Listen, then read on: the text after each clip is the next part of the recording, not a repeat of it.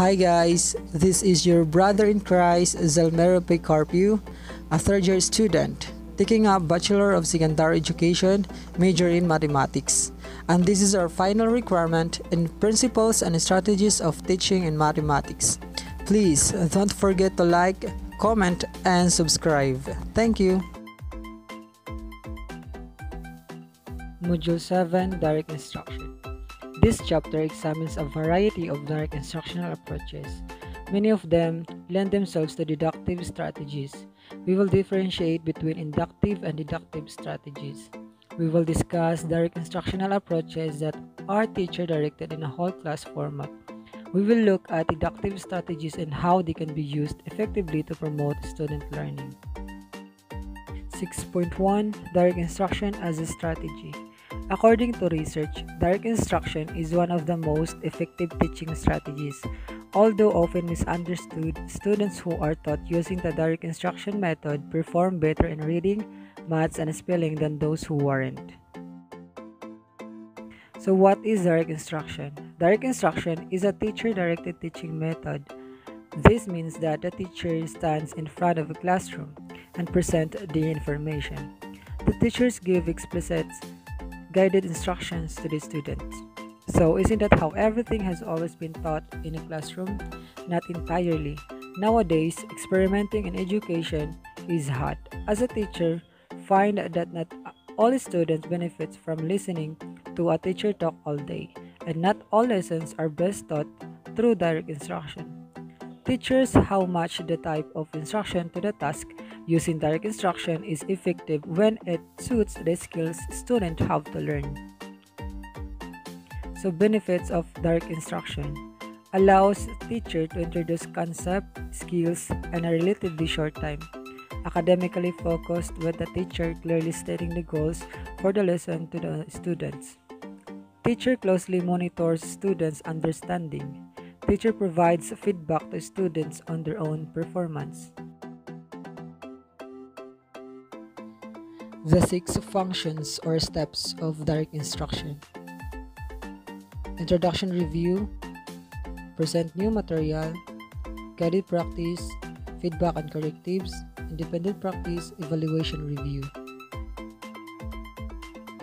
Number one, introduction review. First, you set the stage for learning. This is the opening of the lesson, and it is intended to engage students, get their attention, and activate their prior knowledge build upon a previous lesson, or get an understanding of their background knowledge of the subject you are about to teach them. To show your students what exactly they have to learn and what is expected for them, you can give them lesson objectives. Number 2. Present the new material. Use clear and guided instructions so students can begin observing the new material. The lesson content should be carefully organized step by step with the steps building on each other. Lecture method.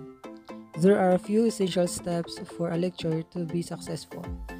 State the main points of the lecture, introduce a main organizing idea or theme, use examples to illustrate each idea, use repetition to reinforce the main points, summarize and refer back to the main organizing idea. Demonstration. Here, the teacher demonstrates the skills or principle in small steps. Visual demonstrations will engage more students than a pure auditory lecture. This method is often used in science classes. Number 3. Guided practice. Here, the teacher and the students practice the concept together. The student attempts the skill with the assistance of the teacher and the other students. The guided practice is conducted by the teacher.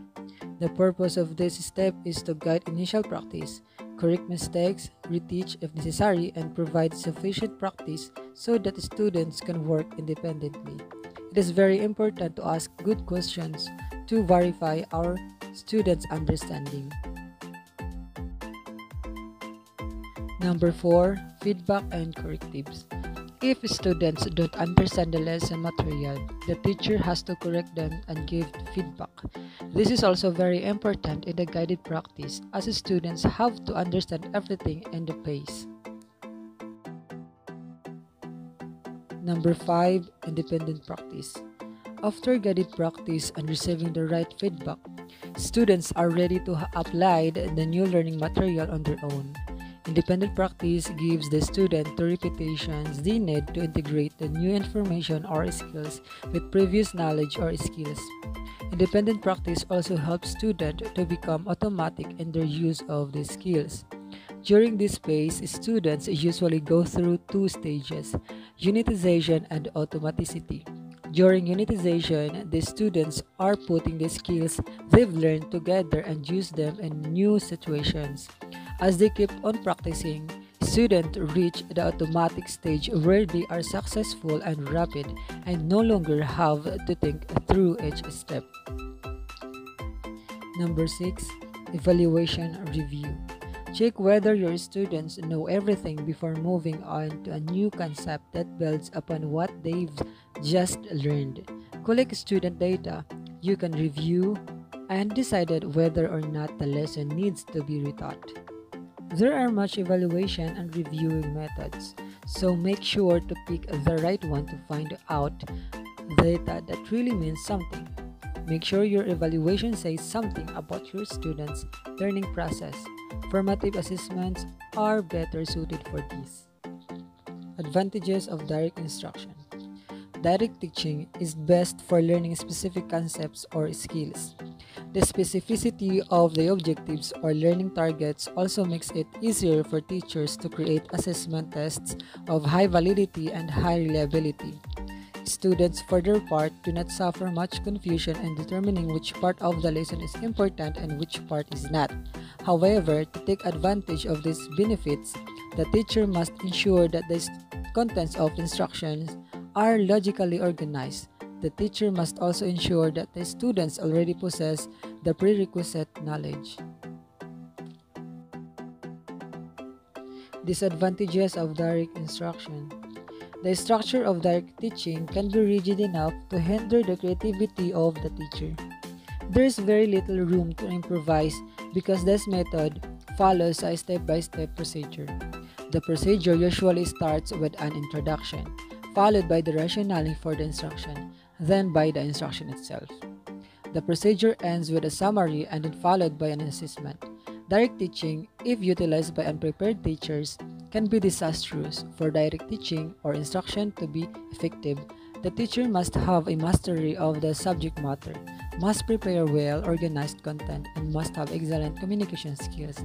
Without these traits, the teacher could not effectively carry out direct teaching or direct instruction, nor could they develop higher order thinking skills in the students. 6.2 Punctuated lecture versus interactive lecture. What is punctuated lecture and what about interactive lecture? What is punctuated lecture? A punctuated lecture, traditional lecture, is a metacognitive strategy that helps students become aware of the behaviors they exhibited during a lecture. These behaviors of fidgeting, daydreaming, distraction are unconsciously expressed and may impact student learning in the classroom. In becoming self-aware during class, students can begin to take control of their behaviors and be more accountable for their learning. The teacher and the students engage in five steps.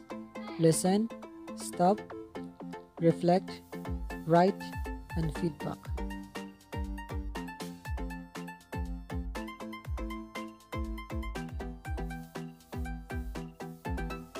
Benefits of punctuated lectures improve listening skills, increased attentiveness during lectures, awareness of classroom behaviors, increased responsibility for learning.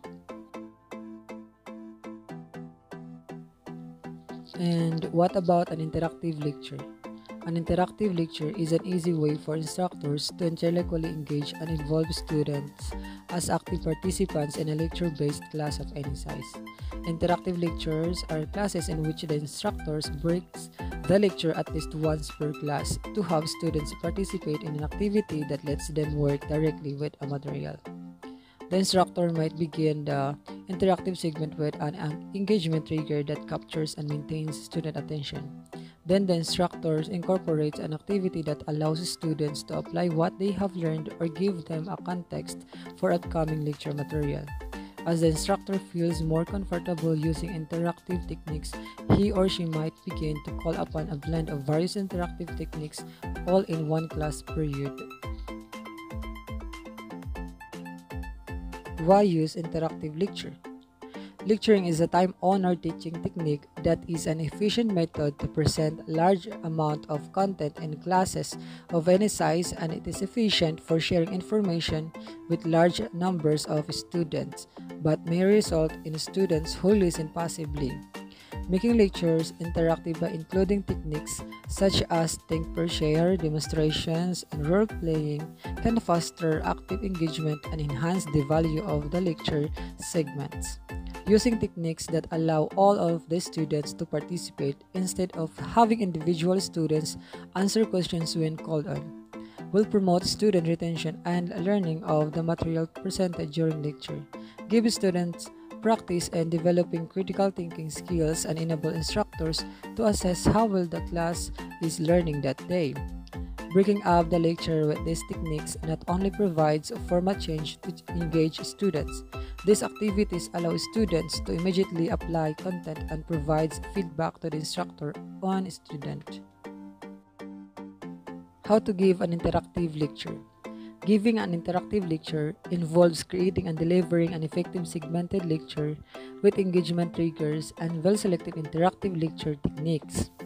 The instructor must begin by giving attention to pre-instructional planning and various classroom management and logistical issues that allow for modification from the traditional lecture format.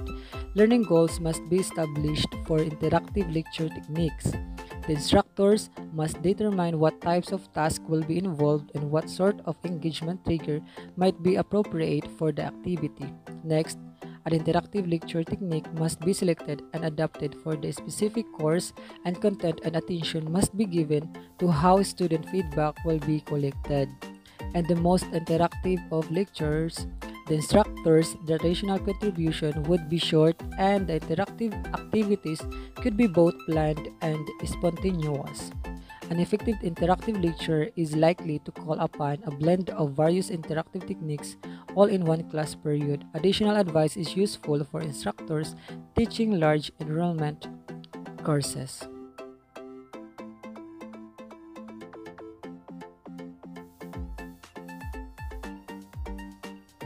Six point three Asking appropriate questions. As a future educators, here are some relevant questions for you. When planning, do you have a clear idea about your learning intentions? Is there an alternative to learning by doing? Do you consider it important for students to know what the criteria for learning success are and to be held accountable for their learning? Is it important to draw students into the lesson by appealing to their interest, curiosity, and wondering? Are modeling and demonstrating skills and concepts part of your repertoire? Thus, checking for understanding have a place in your lessons. Should a lesson include guided instructions such that learners can practice new skills and concepts with feedback from the teacher? How important is it to close a lesson with a summary to organize student thinking and consolidate learning? Should students have time to try on new learning independently and novel situations? And lastly, the assessment.